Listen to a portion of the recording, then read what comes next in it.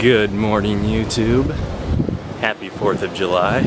Today, we are heading into the gym to train a few clients, and then we're gonna get in a little workout. Our workout's gonna consist of two different little circuits. First is going to be a body weight bench press for as many reps as possible. Then we're going to do a standing row with a sled pulling the straps like you're doing a row. Uh, you guys will understand it when you see it. Uh, it'll be about eight reps down an alley and eight reps back. And then last in that first group will be 20 reps on an ab wheel. The second circuit will consist of max reps dips, followed by 20 seated cable rows, and then finishing up with max reps of toes to bar. So please enjoy the workout footage.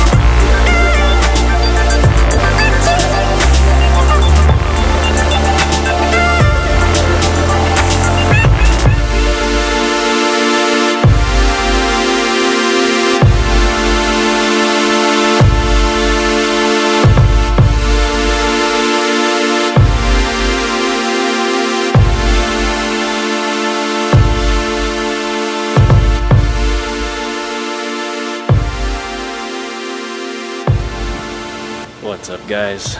We are on our way home after our workout. It was a really good workout. Yeah, I was exhausted from it. I don't know if that has something to do with running 15 miles yesterday, but yeah, towards the the end of that second circuit, I was I was feeling it pretty pretty hard. I'm gonna go home, shower off, get something to eat, and then get ready to go out to the suburbs and celebrate the 4th of July. Hope you all have a happy 4th. If you enjoyed this video, please like and subscribe to my channel. If you have any questions or just want to say what's up, leave me a comment below. If you're one of my clients, you better like and subscribe because I will look and I'll find out. And then we'll have a really fun workout the next time I see you.